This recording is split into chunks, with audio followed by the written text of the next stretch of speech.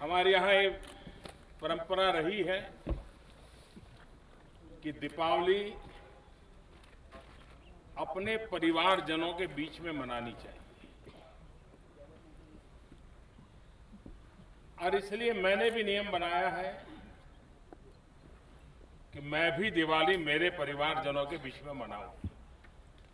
और इसीलिए आज